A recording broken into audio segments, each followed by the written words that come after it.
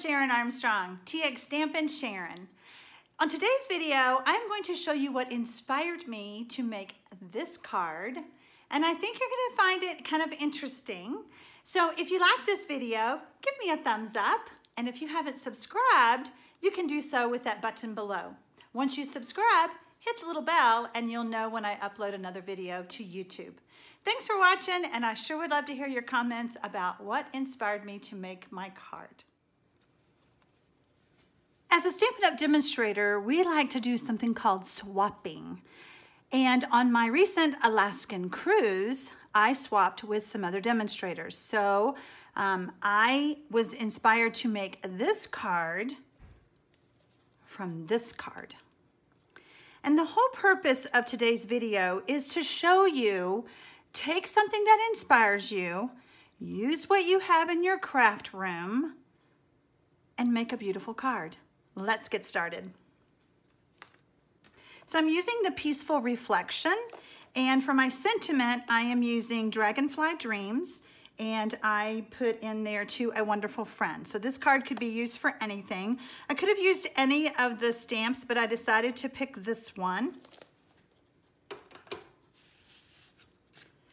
I have my basic gray and my Blackberry Bliss cardstock. You need a Versamark pad. I'm gonna bring in my uh, paper piercing mat.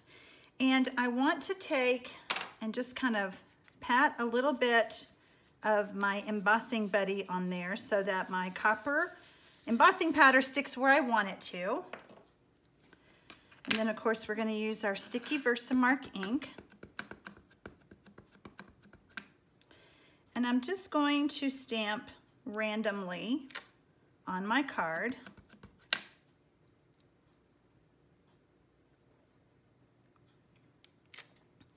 I found that three fits very nicely.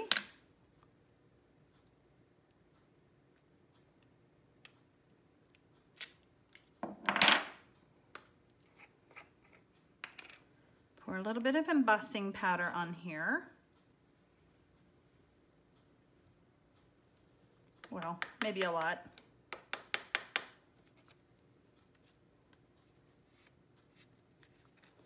And now I'm going to heat set.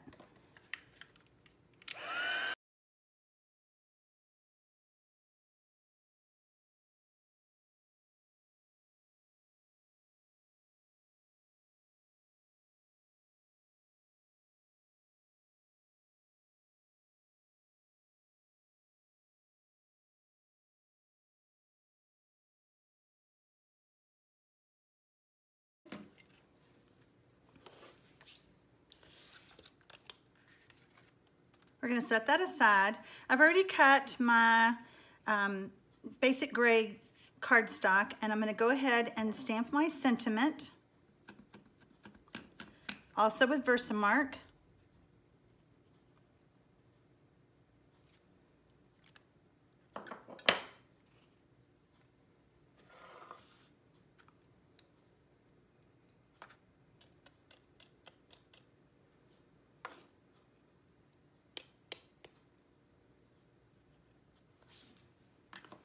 And now we're gonna heat set it.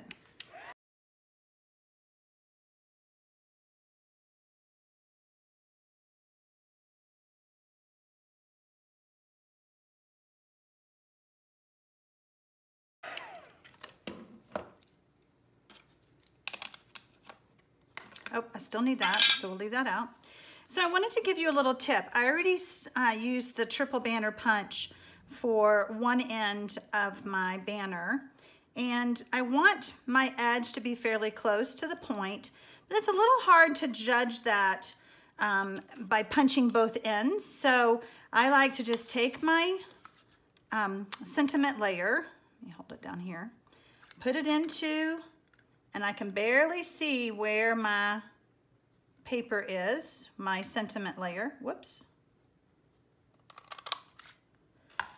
and it works out really well. So just a little tip for you. I hope that helps you. We're gonna adhere these together.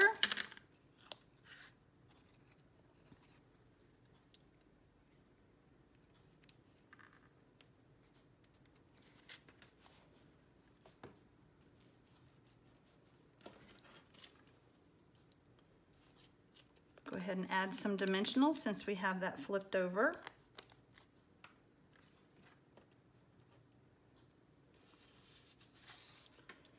Now we're gonna add adhesive to this layer.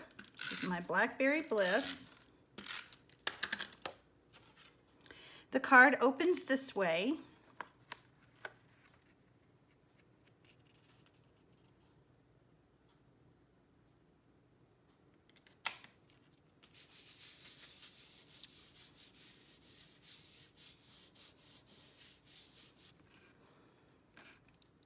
The next thing I'm going to do is I'm going to take my copper thread and wrap it multiple times around. So I want to leave a good tail there to tie. This stuff is tricky to tie, um, especially if you have nails, I guess. I don't know. I struggle with it. So we're just going to be tying it in a knot so we don't have to worry too much about um, leaving enough room for a bow. I can't tie it in a bow. So I think I did it about four or five times. Since the thread is so fine, I wanted to be able to see it.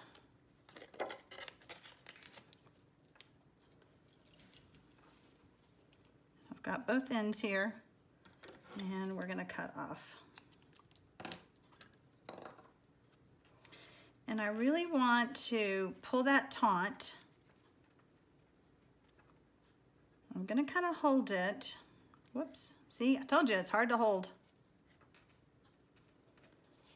And I want to, actually, I kind of like it like that, but on my card, I had it slid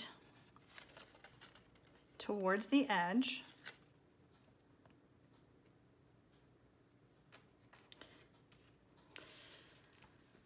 Okay, we got that done. So now I'm going to snip off the ends.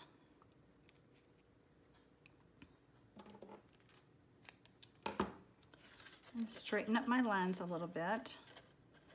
I hope you can see how pretty this uh, copper thread is. It just adds more elegance to this card. So the next thing we want to do is go ahead and add our sentiment banner.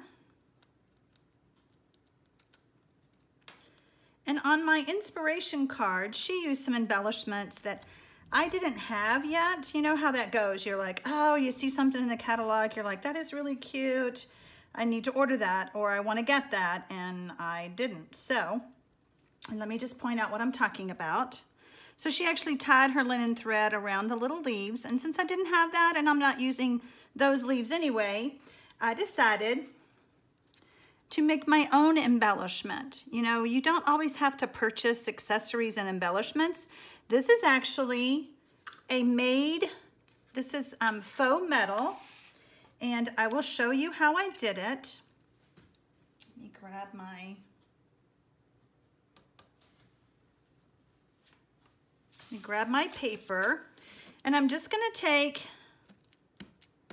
and add Versamark ink to my Blackberry Bliss. I'm using the same color cardstock. I'm gonna pour on some embossing powder. This is the this is, there's several ways to do this technique, but this is the least stressful. You know, stamping should be fun and not stressful.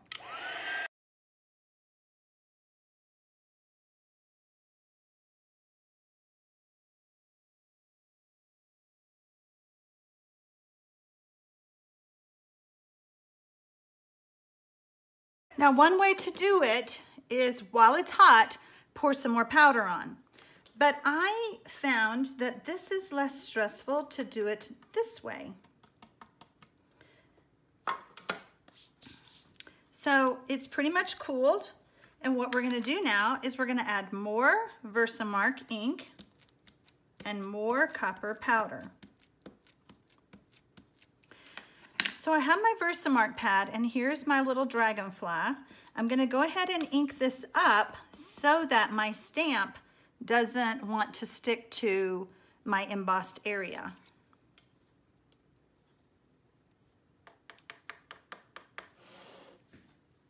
Heat it again.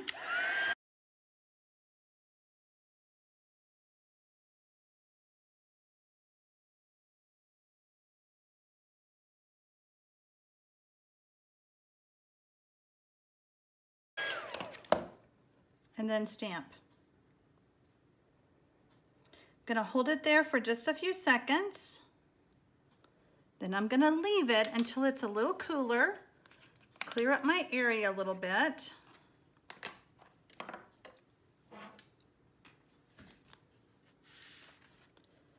I have a one and one quarter inch punch. And then you just kind of peel this off. And I'm not sure if you can tell in the video, but you can actually see the Blackberry Bliss through the dragonfly's body. Pretty cool. I thought it was pretty cool. So make sure it's good and dry before you punch it. I may have gone into in the middle too much. Nope, there we go. I can reach him. So we'll just center that, punch him out. So this adds a beautiful copper embellishment that basically was free. You already have the stamp, we already have the embossing powder, it's free. So we're gonna go ahead and add some dimensionals to the back.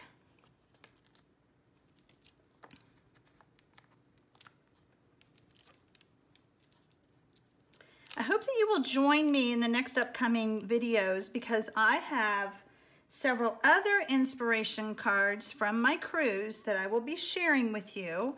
And I'm telling you, I had so much fun.